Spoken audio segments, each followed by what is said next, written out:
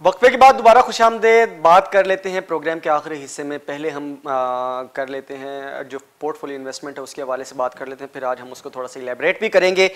Net Phi Phi जो है वो अट्ठावन करोड़ चौरासी लाख रुपए बाइंग के साथ नज़र आती है। आज ओवरऑल जो फॉरन इंडिविजुअल्स हैं फॉरन कॉरपोरेट्स हैं और फॉरन जो ओवरसीज पाकिस्तानी हैं उनकी तरफ़ से आज परचेजिंग नज़र आई है ह्यूज लेवल पे।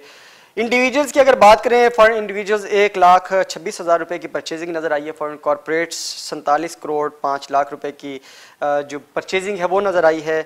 ओवरसीज़ पाकिस्तानी इसके अकाउंट्स में दस करोड़ तिरपन लाख रुपए की परचेजिंग नज़र आई है। लोकल साइट्स पर अगर बात कर लें तो जो इंडिविजुअल्स हैं वहाँ पर 45 करोड़ दो लाख रुपए की सेलिंग नज़र आ रही है। जो कंपनीज़ हैं उनके अकाउंट्स में 35 करोड़ इक्यावन लाख रुपए की सेलिंग परचेजिंग नज़र आई है। बैंक्स और डीएफआई का जो जॉइंट अकाउंट है, वहाँ पर हमें 50 करोड़ 11 लाख रुपए की परचेजिंग नज़र आई है। नॉन बैंकिंग फाइनेंशियल जो कंपनीज़ हैं, सात लाख तीस हज़ार रुपये की परचेजिंग नज़र आई है। म्यूचुअल फंड्स का जो अकाउंट है जो इसका जो जॉइंट बन जॉइंट अकाउंट बनता है, उसमें तीस करोड़ चौंसठ लाख रुपए की हमें परचेजिंग सेलिंग नज़र आ रही है। इसी तरीके से अदर ऑर्गेनाइजेशंस की बात करें तो सत्रह सत्तर लाख पाँच हज़ार रुपये की सेलिंग है। और ब्रोकर्स प्रोपराइटरी ट्रेडर्स अकाउंट्स जो है वहाँ पर तिरसठ लाख रुपए की सेलिंग है और चार करोड़ रुपए की सेलिंग है इंडिविजुअल्स के अकाउंट्स में। इसको अगर हम थोड़ा सा ओपन करके देख लेते हैं, आज की अगर हम बात कर लें फॉर इंडिविजुअल्स के हवाले से फॉर इंडिविजुअल्स जो हैं, उनकी जो परचेजिंग नज़र आई है, ख़ास करके आज बैंक्स में पॉइंट ज़ीरो नाइन डॉलर्स की। और इसी तरीके से अगर देख लें हम फॉरेन कॉरपोरेट्स की अगर बात कर लें तो आ, इनकी जो परचेजिंग है वो oil and gas marketing companies में पॉइंट थ्री थ्री डॉलर्स की point three three million dollars की नज़र आई है और ईएनपी e का जो सेक्टर है वहाँ पर eight point eight zero million dollars की नज़र आई है और इसी तरीके से इनकी जो सेलिंग है वो फ़ूड आइटम्स में बहुत ज़्यादा नज़र आई है। फर्टिलाइज़र सेक्टर में तकरीबन point six four million dollars की परचेजिंग करते हुए नज़र आए फॉरन फॉरन जो कॉरपोरेट्स हैं और point seven six million dollars की नज़र आई है सीमेंट सेक्टर के अंदर। तो सीमेंट सेक्टर के अंदर ह्यूज लेवल पे जो है परचेजिंग नज़र आ रही है। इसी तरीके से ओवरसीज़ की बात कर लें ओवरसीज़ की अगर दोनों तरफ़ देखें तो तकरीबन जैसे हमने बताया कि दस करोड़ तिरपन लाख रुपए की अगर हम इसको कन्वर्ट करें eleven point four million dollars की परचेजिंग और ten point three eight million dollars की सेलिंग है दोनों साइड्स पर।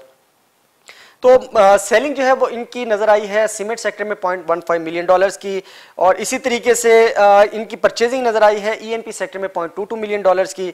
इसी तरह अगर देखें इनकी परचेजिंग जो है वो टेक्नोलॉजी सेक्टर में टेक्नोलॉजी एंड कम्युनिकेशन सेक्टर में पॉइंट वन सेवन डॉलर्स की नज़र मिलियन डॉलर्स की नज़र आई है और point one eight million dollars की इनकी परचेजिंग नज़र आई है अदर सेक्टर्स के अंदर।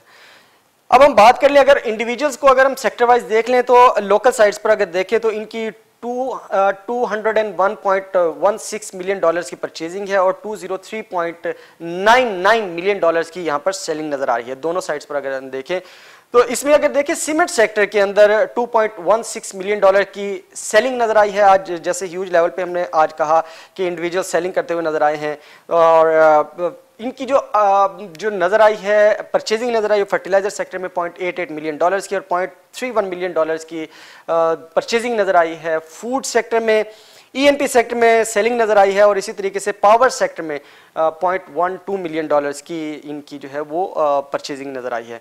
इसी तरह हम बात कर लें अगर कंपनीज़ की तो कंपनीज़ परचेजिंग करते हुए नज़र आए point one nine million dollars की सीमेंट सेक्टर में point five eight million dollars की फर्टिलाइज़र सेक्टर में point two nine million dollars की फ़ूड एंड पर्सनल केयर का जो सेक्टर है और इसी तरीके से uh, इनकी जो परचेजिंग नज़र आ रही है वो खास करके ओएमसी सेक्टर में point one three million dollars और पावर सेक्टर में point one three million dollars की नज़र आई है।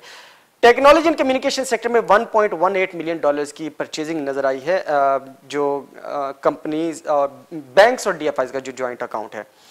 इसके बाद अगर बात कर लें नॉन बैंकिंग फाइनेंशियल कंपनीज़, उसमें तो खैर जो वर्किंग है वो बहुत छोटी सी है। म्यूचुअल फंड्स की खास करके हम बात करते हैं 11.27 मिलियन डॉलर्स की परचेजिंग है और 13.2 मिलियन 20 मिलियन डॉलर्स की सेलिंग है तो नेट जो है इसका 1.93 मिलियन डॉलर्स बनता है। इसकी अगर हम देखें सेलिंग और परचेजिंग सेक्टर वाइज अगर देखें तो 0.27 मिलियन डॉलर्स की परचेजिंग है सीमेंट सेक्टर में वन मिलियन डॉलर्स की सेलिंग है फर्टिलाइज़र सेक्टर में, और 0.64 मिलियन डॉलर्स की जो सेलिंग है ईएनपी सेक्टर में 0.16 मिलियन डॉलर्स की ओएमसी में है सेलिंग और 0.29 मिलियन डॉलर्स की पावर सेक्टर में है। इसी तरीके से 0.13 मिलियन डॉलर्स की जो परचेजिंग है, वो नज़र आ रही है टेक्नोलॉजी एंड कम्युनिकेशन सेक्टर के अंदर। लास्ट में अगर हम बात कर लें प्रोप्राइटरी जो अकाउंट्स हैं ब्रोकर्स प्रोप्राइटरी अकाउंट्स में, वहाँ पर हमें सेलिंग नज़र आ रही है point eight seven million dollars की सीमेंट सेक्टर के अंदर। और जो ज़्यादा सेलिंग नज़र आई है point four eight million dollars की टेक्नोलॉजी एंड कम्युनिकेशन सेक्टर में और अदर्स अकाउंट्स में इसकी one point seven two million dollars की नज़र आ रही है सेलिंग ओवरऑल मार्केट का जो स्ट्रक्चर है बात कर लें अगर पोर्टफोलियो कंपनीज़ इन्वेस्टर्स की बात कर लें इन्वेस्टर्स के हवाले से बात कर लें ट्रेडर्स के हवाले से बात कर लें तो मार्केट के अंदर जो एलिमेंट है, जो सेंटिमेंट है, वो इस वक्त बेहतरीन मौजूद है। लेकिन कुछ लोग जो रूमर्स के अंदर आकर के कुछ लोग जो कि दूसरों की बातों में आकर के ऐसी जगह पर इन्वेस्ट कर रहे हैं जहाँ पर इन्वेस्टमेंट का इस वक्त बिल्कुल भी फ़ायदा नहीं है। आप इस चीज़ का ज़रूर ध्यान रखिए। कि आपको जो वो स्ट्रेटजी जिस, जिसके हवाले से हम हमेशा बात करते हैं कि buy on dip and sell on strength वाली पॉलिसी है। इस वक्त मार्केट के अंदर थोड़ा सा नेगेटिव ट्रेंड नज़र आ रहा है। नेगेटिव ट्रेंड बिरिश ट्रेंड की तरफ़ जाती हुई दिखाई दे रही है तो इसके अंदर ज़बरदस्त अपॉर्चुनिटी मौजूद है मार्केट के अंदर काम करने के हवाले से।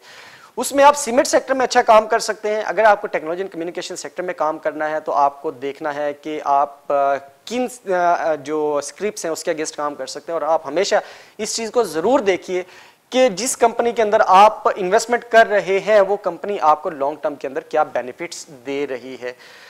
अगर आपको पेनी स्टॉक्स के अंदर काम करना है तो पेनी स्टॉक्स के अंदर कमर्शियल बैंक के अंदर जैसे हमने आज बात की सिल्क बैंक के हवाले से हम ये कोई कॉल नहीं दे रहे लेकिन आपको ऑथेंटिकेटेड बात कर रहे हैं कि बजाय इसके कि ऐसे स्क्रिप्ट के अंदर काम करें जिनकी कोई आपके पास फंडामेंटल्स या टेक्निकल्स मौजूद ना हो और ख़ास करके उस कंपनी का आ, किसी किस्म का कोई बैकग्राउंड मौजूद ना हो आ, तो उसके अंदर काम करने का आपको फ़ायदा नहीं है बजाय इसके कि आप उनके अंदर काम करें। आप आपको अगर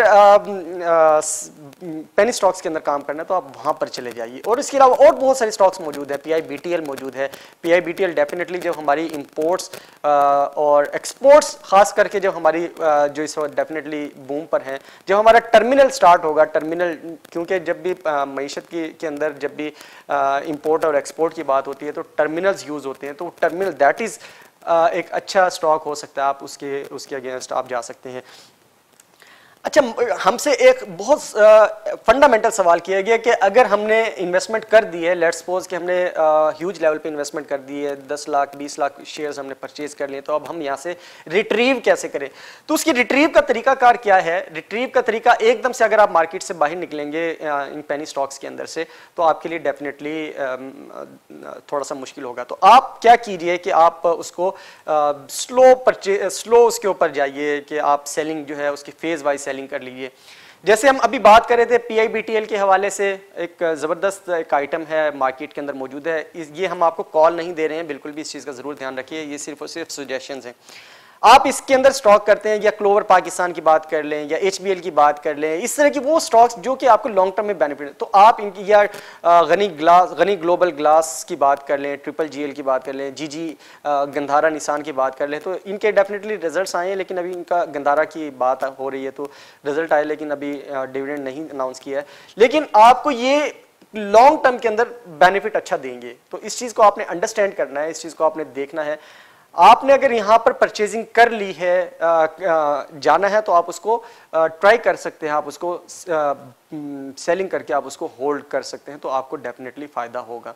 और अगर आपको निकलना भी है, जैसे हम पेनी स्टॉक्स के हवाले से अब डब्ल्यू की बात कर लें टेलीकार्ड की बात कर लें, हम नेटवर्क की बात कर लें, अगर आपने वहाँ पर ह्यूज लेवल पर परचेजिंग की हुई है और आपने वहाँ से मार्केट से रिट्रीव करना है रिट्रीव लेना है या बाहर निकलना है तो उसको फ़ेज़ वाइज सेलिंग करते हुए प्रॉफिट टेकिंग अगर नज़र आ रही है तो प्रॉफिट टेकिंग करते हुए आप मार्केट के अंदर से फ़ौरन ऐसा ऐसा निकलते चले जाएँ। वहाँ से निकल करके आप किसी और स्टॉक के अंदर इन्वेस्टमेंट कर दें ताकि आपकी जो इन्वेस्टमेंट है वो प्रोडक्टिव हो पॉजिटिव हो और आपको बेनिफिट दे। प्रोग्राम का वक्त खत्म हो रहा है। ब्लू चिप आइटम्स के हवाले से हम बहुत ज़्यादा बात करते रहते हैं। डिफ़ॉल्ट सेक्टर के हवाले से डिफ़ॉल्ट आइटम्स के हवाले से भी हमने कल भी बात की। और आने वाले दिनों में हम इसी तरीके से प्रोग्राम करते रहेंगे। हम उम्मीद करते हैं कि जो पाकिस्तान ग्रेली से बाहर निकल आएगा। सेनेट के इंतबात आराम से होंगे। सियासी गहमा गहमी उरूज पर है। कोई इस तरह का कोई चीज़ नहीं होगी कि जिससे एलिमेंट ऑफ़ डाउट आ जाए मार्केट के अंदर। तो हम उसके लिए पुरुद हैं। पाकिस्तान की मीशत के हवाले से बहुत अच्छी खबरें आने वाली हैं। पाकिस्तान की मीशत इस वक्त ज़बरदस्त इसकाम पर है। मार्केट के अंदर अशिया खुरनोश डेफिनेटली जो इस वक्त करंट गवर्नमेंट है, उसका जो सबसे बड़ा चैलेंज फेस करना पड़ रहा है, वो अशिया खुरनोश की कीमतों में बेतहाशा इजाफा है, बेतहाशा इजाफा है, थोड़ा सा नहीं, बेतहाशा इजाफा और हर हफ़्ते अगर आप देखें तो 25 से 30 आइटम्स की जो प्राइसेस हैं, जो अशिया खुरनोश हैं, उनमें प्राइसेस में इजाफा होता हुआ दिखाई दे रहा है। तो ये एक अलार्मिंग सिचुएशन है इस करंट गवर्नमेंट को जो सबसे बड़ा चैलेंज फेस करना पड़ रहा है, वो सिर्फ़ और सिर्फ़ महँगाई और बेरोज़गारी है। बहरल जी प्रोग्राम का वक्त खत्म हो रहा है। प्रोग्राम के आखिर में कोरोना वायरस से एहतियाती तदाबीर के लिए हम अपना पैगाम स्टाव गाला के प्लेटफॉर्म से आपके साथ रोज़ शेयर करते हैं और आपको ज़िम्मेदार शहरी होने के हवाले से आपकी तवज्जो दिलाते रहते हैं कि आप अपनी कारोबारी सरगर्मियों के लिए घर से बाहर निकलें तो मास्क का इस्तेमाल कीजिए। आप मास्क का इस्तेमाल करेंगे तो आपके इर्द गिर्द लोग महफूज रहेंगे। अशिया खुरनोश के लिए मार्केट्स में जाएँ तो मास्क का इस्तेमाल कीजिए। सिक्स फीट का जो सोशल डिस्टेंस है, उसको आप मेनटेन रखिए। फ़िज़िकल डिस्टेंस को मेनटेन रखिए। आप महफूज तो मुआरा महफूज इस पैगाम के साथ मुझे दीजिए इजाज़त आपसे मुलाकात होगी इंशाल्लाह कल। अल्लाह हाफिज़।